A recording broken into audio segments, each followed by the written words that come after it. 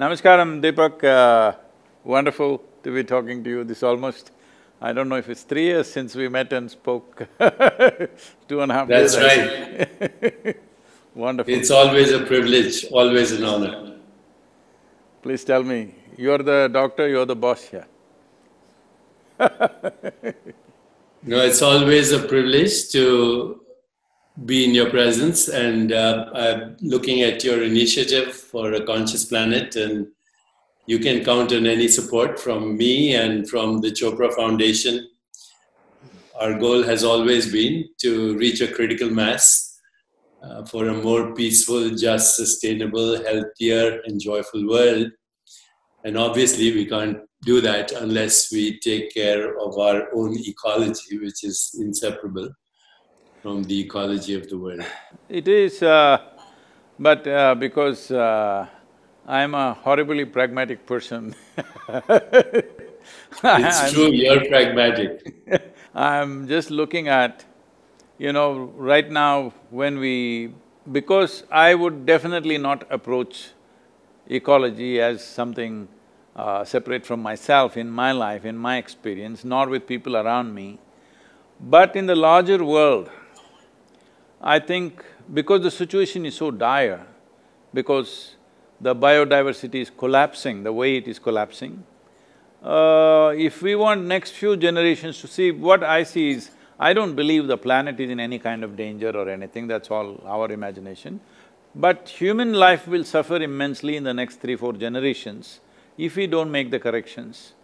Even if you make the corrections, for all you know, you may be only postponing the suffering. Uh, maybe you don't want to give it to your children and grandchildren, but you don't mind five generations later they're getting it. We don't know, that's not in our hands. Our plan is at least for the next generation, we must leave a better space than the way we have made it right now. In that context, what I saw was, I've been looking at these various, uh, you know, data from United Nations, from various universities and everything. What I see is, this is all PhD stuff.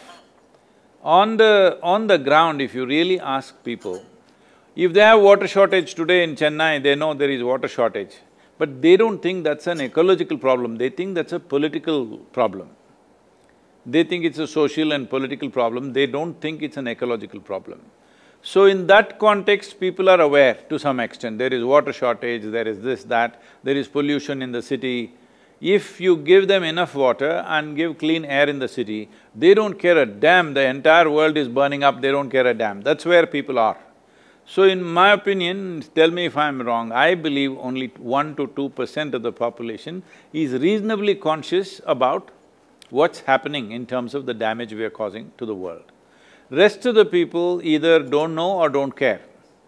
Another two, three percent are only conscious about uh, air pollution in the cities, water shortage, this, that, things that directly affect them, not things that are happening which are seriously damaging to the planet and when I say damaging to the planet, I'm not somebody who thinks planet needs to be saved by us. If we just sleep for twenty-five years, everything will be back to normal, okay That's all it is. So, in… not in that context, but as a fundamental responsibility to at least leave everything as it was given to us when we were born, how it was, at least to that level of ecological cleanliness, we must bring that much biodiversity we must put back because particularly the maximum damage has happened in the last fifty years in terms of lo loss of biodiversity. Seventy percent of the vertebrate population is gone in last fifty years, which is uh, crazy. And one in five of the species which are on the planet right now are under some kind of threat. So with all this happening, I thought taking the world in segments of latitudes like equatorial climate, tropical climate, subtropical and temperate like this, all the nations which are in that band of latitude, at least sixty percent of the population should know what are the five things that must happen in our country. What are the two to three things that should never happen in our country? I'm saying everybody who's walking on the street should be conscious of it. Only when that happens, because nearly ninety percent of the nations are in some way democratic in their own style of democracy, they're in some way democratic.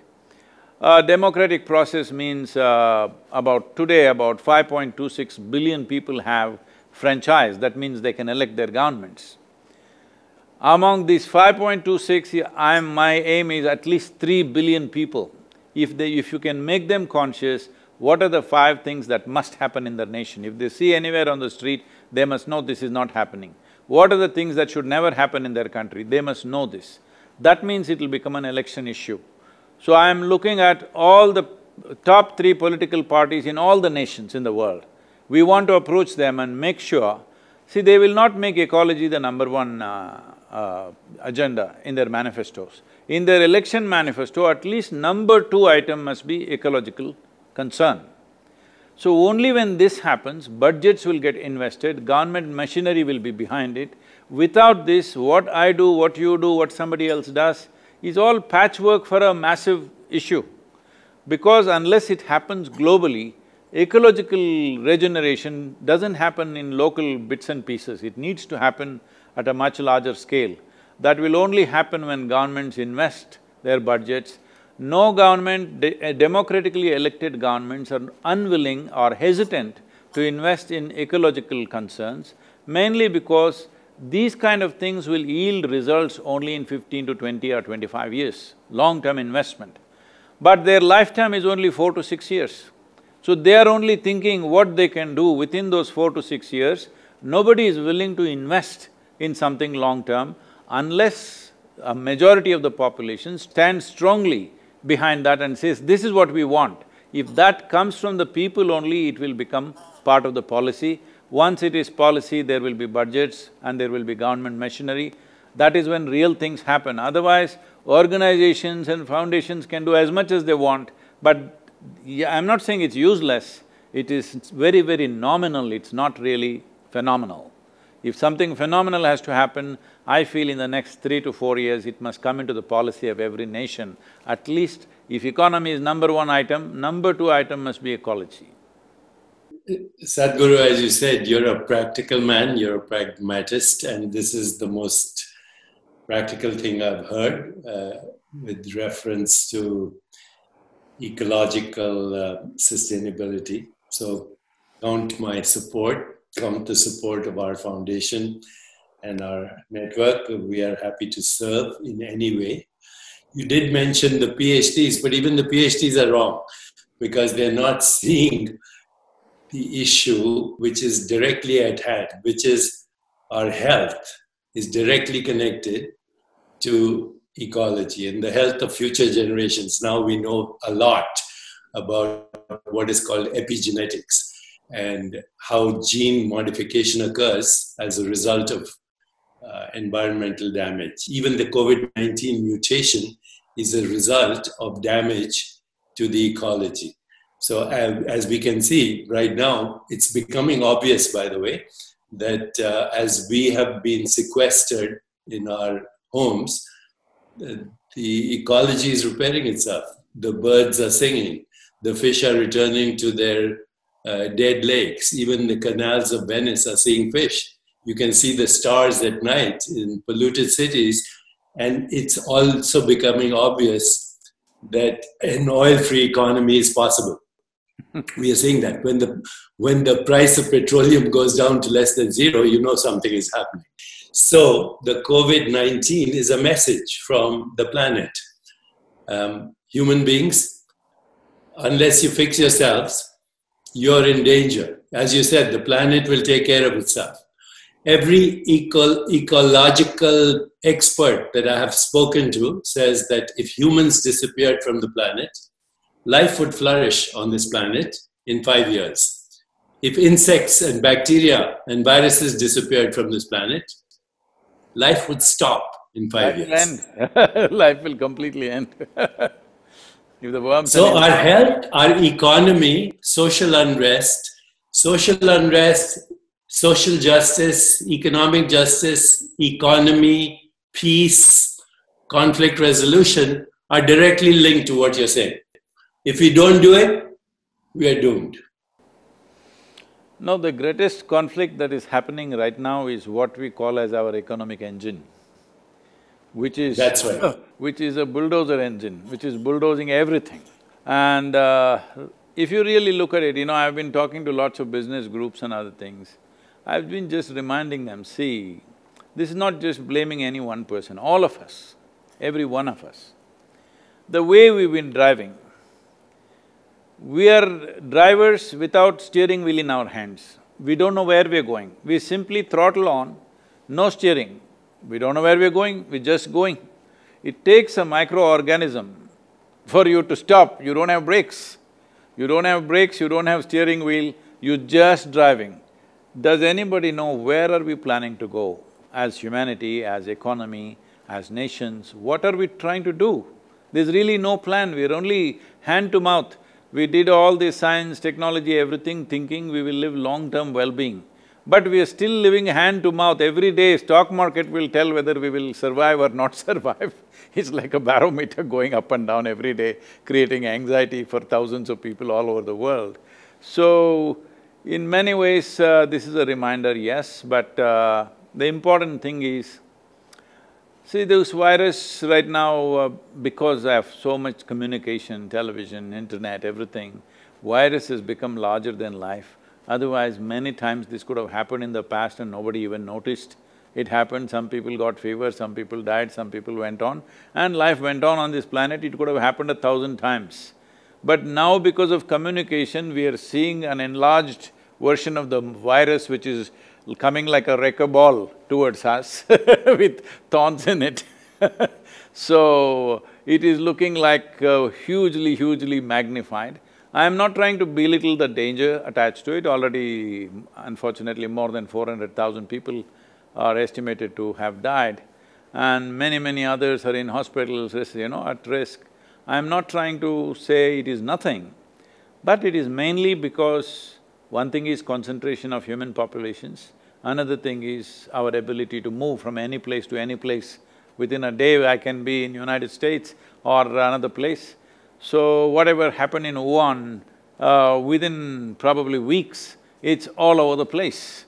So this would have never happened five hundred years ago. If it happened in Wuhan, there only it would… ten people will die and rest will recover and whatever will happen, that's all it would be. So in many ways, it's our lifestyle and even now, as far as uh, you should know better, but uh, from whatever I've got from various doctors and scientists, they are saying every day on an average, 128 scientific papers are being published about the virus. About a microorganism, 128 papers per day for last two months it's happening. that means we are breaking the mi microorganism's characteristics into that many parts and studying it in so many little, little parts That means actually we know nothing about it. The only way we have done some successful control of this is by controlling human behavior. We've done nothing about the virus. Fanciful talk about uh, what is this vaccine is happening, but if we come up with a good treatment protocol, that itself is a miracle. If we have a good treatment protocol, if I get the virus, I will not die, I can recover with a few days of treatment. If that much assurance comes, people will go about doing their business. Right now, we are talking about how to completely eliminate the virus, do this, do that. I don't think so, we should eliminate the virus because what benefits it has within itself, we're yet to realize. We're only seeing that it's uprooting some lives. Yes, it is tragic for those who have lost their loved ones and those who have lost their lives, it's not a joke. But we don't know what it is hiding within its process because as you know, and almost every other medical personnel and today because of internet almost everybody knows, a large part of us is virus, bacteria, microorganisms, a large part of us. There is more of them than us. Compared to the cells which have multiplied from our parentage and the number of viruses and bacteria and microorganisms we have is much, much more. So, they are… Uh, they are living with us, they are us in many ways. You cannot say there is something that is me and there is something that is microorganism, it's all mixed up. So without them we cannot exist, but without us they can exist. So, what great things they will do for us, we don't know. There is some research telling us that hundred million years ago, this whole human placenta came mainly because of a virus infection. So it is the virus which gave us this placenta, which gave us the possibility of reproducing successfully and the mother's womb, what happens, all those complex uh, creation process that happens in our mother's wombs is mainly…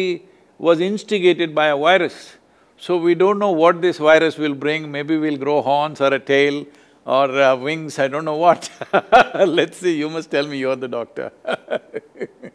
Well, our current science, as you said, first of all, you said something very important. The virus is a very small bit of genetic information. That's what it is. It's a very small bit of genetic information which has now devastated everything from economy to health to politics to international relationships, etc. This little bit of genetic information has devastated the world. And you also said some of this alarm may be exaggerated because of the way, you know, we communicate and it's so easy now to get the information. Some of the television channels in India, the virus is coming like this, like a wrecker ball at you. That's right. That's right. But here's the advantage of this. Just because we can communicate, and we're doing so right now, we actually, through technology, are rewiring the global brain, the planetary brain, through technology. And this communication is very important, and these actions are very important because without this conversation, we would only be in a panic mode. But with this conversation, we are seeing possible solutions, and you're offering a very practical solution. Here's the important thing to remember when we go for practical solutions is I, even as we take the practical solutions, we have to see the direct connection between the genetic information in our body and again, you used another word, maximum diversity of genetic information. Our the genetic information in our body 99% is actually bacterial and microorganisms. 99% maybe 95% you're making, you're making me feel like a virus huh? Well we are you sadhguru you and i are the awakening of bacterial and virus consciousness one day the viruses and bacteria said you know let's use this organism homo sapiens as our host and then we can survive. So we are actually the host for, for the genetic diversity of the planet. We are the host. If we ruin it, we ruin ourselves because uh, we depend on this genetic entanglement of genetic information. All life on this planet, not just human life, plant life, animal life, all life. You said in the mother's womb, we were shaped by these microorganisms but actually, as we journeyed out into the world, we absorbed everything. In fact, these days, when people do smart, smart uh, obstetricians, when they do um, cesarean section, they actually take all the secretions of the mother and they put them on the baby's body. They put them in the mouth, in the nose, so that the baby can inhale these microorganisms, can smell it, can swallow it and be covered by it because our lungs and our intestine, our entire body depends on them. So is that being as a, done as a standard practice? Say that? Is that being done as a standard medical practice? Among the smart uh, obstetricians, yes. Oh. Right now, they are recognizing that in urban cities, 30% of the microbiome has disappeared. Mm-hmm. So if I'm if somebody lives in New York City or Chicago or Delhi for that matter, 30% of their microbial genetic information has disappeared and it is disappearing and this is directly linked to chronic diseases like diabetes, heart disease, hypertension, strokes, indirectly to cancer, autoimmune illness and propensity to premature aging and all kinds of human problems 90%, 90% of chronic illness is dysbiosis, which means dysfunctional biodiversity of genetic information in our body. And the people who are getting sick, by the way, the people who are even now, young people who are getting sick, they have what are called acute inflammatory storms in the body. So inflammation goes out of control in the body because they are panicking. they're panicking, they're stressed, they're agitated, they're worried about money, they're worried about their jobs. The death and morbidity, and we have published on this, I'm happy to send you papers. The mortality and morbidity of this virus is directly linked to stress, panic, sympathetic overdrive, and agitated minds. And that's why we need more than just a simple, simplistic vaccine solution. Because if we have a vaccine, a year from now there'll be another mutation. The vaccine doesn't do anything. it doesn't very, look at the problem. Very clearly demonstrated in India that uh, of all the cases we have, over sixty percent of the cases and over eighty percent of the deaths are only in five cities. There you are. In the villages where, where we are here, not a single case in all these villages around us. But only in Chennai, Mumbai, Ahmedabad, Delhi and uh, one more city, what, Lucknow? Bangalore? Bangalore not much. Bangalore they've controlled well because of door-to-door -door, uh, management. I think it's obvious now with this that you know ecology is the main issue of our times. The air is our breath. The the oceans and waters and the rivers are our circulation. The earth is recycling as our body. Even the atoms in our body were forged in the crucible of stars. So you know you have a personal body, you have an extended body. They're both yours. The planet is your body. It's recycling as the ecology and the genetic information and the micro diversity of these organisms. And we're not looking at that. We're looking only at vaccine. Uh, you know, there is… there is uh, something little more basic than uh, this genetic information, even pre that, is the elemental stuff in the world. So the entire yogic system, the basis of yogic system is called Bhuta Shuddhi. That is taking charge of the five elements of uh, air, water, earth, fire and space. So these Panchabhutas are five elements, taking charge of that is the entire yogic system. It's uh, funny because uh, today I had asked everybody to, you know, our… Uh, mm, our traveling uh, group, which is normally referred to as Ishangas, who go out and teach and spread the thing, they're all here now for last two months. So I told them to do sadhana, their morning sadhana outdoors. They were all doing outdoor in front of the Adiyogi statue. But in the last few days, uh, the monsoon winds have picked up, it's very heavy here. Like uh, it'll touch uh, fifty kilometers per hour, sometimes up to seventy kilometers per hour in gusts. And also mildly raining, anytime it will rain. We're very close to the mountains. So by today morning I went to see how are they doing their sadhana in this wind and rain, but only a small number were there. I asked, what happened? They said too much wind so I put them up now that from tomorrow I'm… I'm praying to the rain gods that every day morning, five to eight it must rain and all of you must be do, doing your sadhana in the rain. It's very important. This is not a boot camp to harass you or something, because if you distance yourself from the elements, you're gone. You, you may be alive, but you are gone because life doesn't throb in you, no realization will be possible, because if you want to touch the peaks of your consciousness, everything must be on. Right now, if survival itself becomes a challenge for you, what peaks will you touch? You will not even be interested. When survival is in question, nobody is interested in anything. So it's very important that your survival is not even a concern. If you sit here, everything is going on. If this is happening, then only you will want to explore different dimensions of life. So from tomorrow on, everybody is there in full rain and heavy winds doing their morning. That's beautiful, that's beautiful. After all, that's the meaning of yoga, right? To be in touch with the source of all existence. And you're right, you know, the Panchabhutas precede all genetic information and that also comes from one undifferentiated consciousness and if we want to we want to be intimate with that consciousness then yoga is the only way yoga is the only way in all its dimensions. We are… we are doing everything possible, you must also join hands with us to change the image of yoga. Because uh, I know in California, maybe… I don't know how it's in San Diego, at least in Los Angeles, uh, yoga means uh, Lululemon pants and you know, uh, one day is my cycling day, another day is my jogging day, one day is my yoga day, that kind of stuff. So we are seeing how to change the image of yoga, that yoga is a comprehensive science and a process to bring this unity, because the very fundamental is unity. What you're talking all this time is just that, that there is no separation.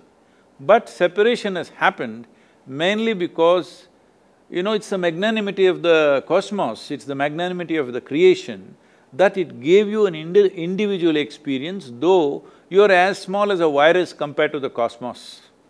What virus is to you, you're just that, a speck of dust. But to this speck, an individual experience has been given.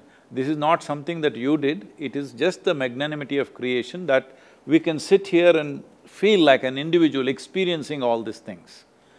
But once we take this individuality rather too seriously, suddenly we will get imprisoned in our own individuality. Individualism is imprisonment. This imprisonment is not just creating mental structures and emotional turmoils, this is destroying body's ability to live strong. Living strong is not happening to most people simply because they've become cubicles of their own, that their individuality has become too strong and people unfortunately, largely, I'm sorry if I say something wrong, medical fraternity has not recognized that what you do with your mind and emotion will inevitably draw… build a cocoon around yourself and a cocoon is not a protection, a cocoon is a coffin. Well, I have nothing more to add. You've said everything. Uh, uh, just one phrase encapsulates everything. Yogast Kuru Karmani. Established in yoga, perform action. This is the call of the moment, and thank you for leading it. Sadhguru, thank you.